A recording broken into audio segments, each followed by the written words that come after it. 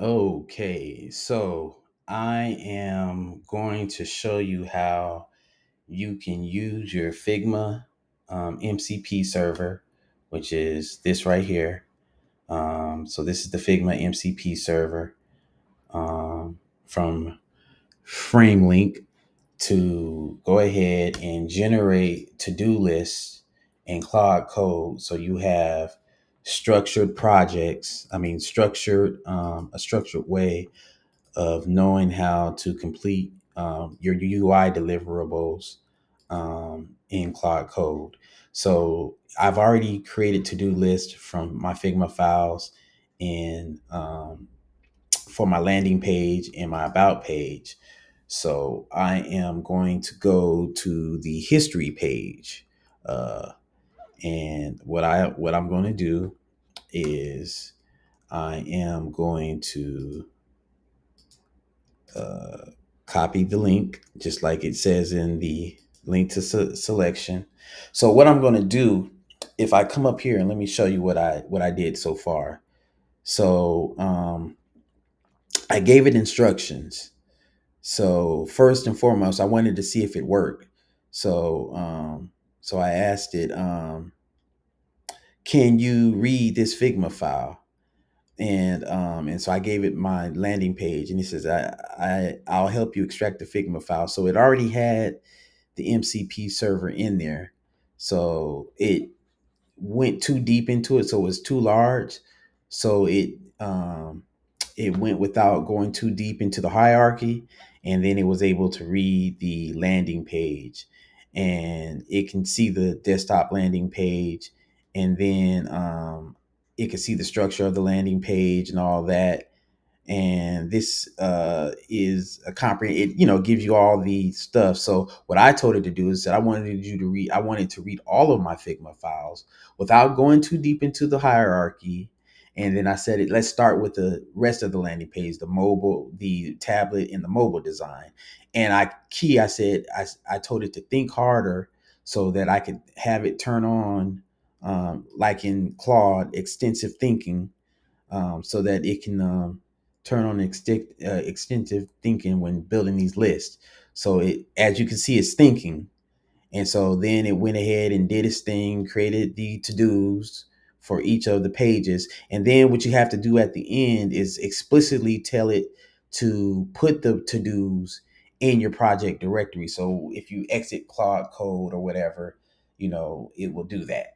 So um, the other thing is, is that if you go to Anthropic and um, in order to add the MCP servers, uh, I added it. I, what I did is I first did it from Claude Desktop. So I then I went in in my regular terminal. Um, I did an MCP um, uh, Claude MCP add add from Claude Desktop, um, and what that does is that will um, if I come right here, let me show you what it does. So um, Claude MCP add from Claude desktop. And so what that'll do is it will open up a did I write that right? Yeah. Oh, shoot. Uh, hold on. Exit. I typed it wrong. Let me get out of here.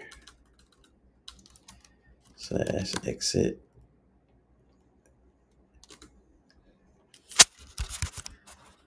Yeah, let me get out of here. I don't want it to do anything. so, um, so um, let me do up and then um, so boom. So now it'll open up a prompt window. So this is you don't open it in when you're signed in. So I don't use the I use the file system server on my Claude desktop, but not not of course not on Claude Code because it already has those commands. So so the framework, the Framelink MCP already exists. So I can just get out of that. And but you can just go ahead and add it by pushing the space bar and doing what you need to do. And then once you have it in there, um, you can go slash MCP and then you can see it connected.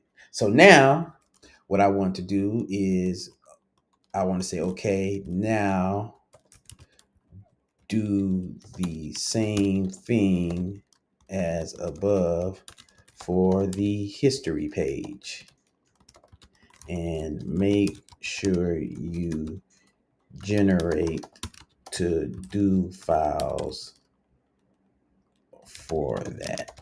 So now um, here is the URL for the desktop. So desktop, and I I get specific so that it knows that hey this is responsive. So boom.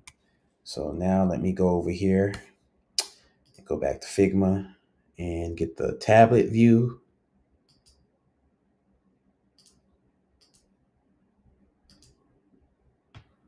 Tablet view. So boom, just say tablet. And then I want to get the mobile view. So copy link to page. Dash mobile. All right. So fingers crossed. I don't need my fingers crossed because it's going to do it anyways. So then you go ahead and let it do its thing. And I'm probably going to have to compact this because it's been doing a few of them. So boom. So boom, it did the first one, second one, and then it, oh, it did all three. Man, it's fast. So now it's going to generate the to-do list. So here we go. Real quick. And this just allows you to organize and vibe code with a structured approach. And if you're on a team, you can put it in um, your Jira or whatever project management system in and your tickets and all that. So this is the way that, you know, I'm starting the vibe code with my team. So as you can see, it's writing the history page to do's.md. So if I come over here, um, it hasn't written it yet. So, but it's going to write it, write it. So it's writing it now. Um, still waiting, still waiting. Okay, so not yet. Boom. So there, there it is. There it is. Boom. It just popped up. So, and then it's going to finish it up. And then I'm going to move on to the next one and to the next one. And then once I start really, you know, tackling my to-dos, then I'm good. You know, so these are all my to-dos.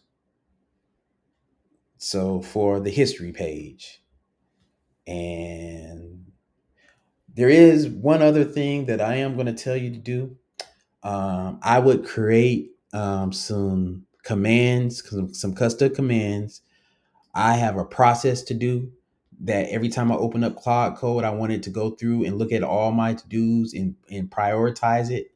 And then um, what I do after that is once it completes one set of to dos, like the landing page, whatever, I go ahead and commit that. So I have a git a git command um, thing. Even though I have Git and GitHub and all that uh, thing, I wanted to go ahead and do that, and it'll update the documentation, update the change log, and all that.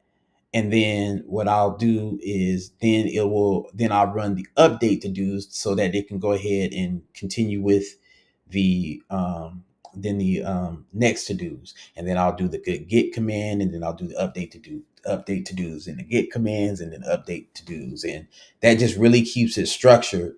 Um, and then you know I'm really getting into this vibe coding thing. So as you can see, it finished everything. It gives you, and I don't have to worry about reading all this because it's already in the to do the to in the to do um, page because it just doesn't include these. It gives you a comprehensive like boom like here it is. So let me show you. So it gives you everything that it had right there, but then it gives you a comprehensive everything that it you saw in the in the file. So it's just not the to-dos.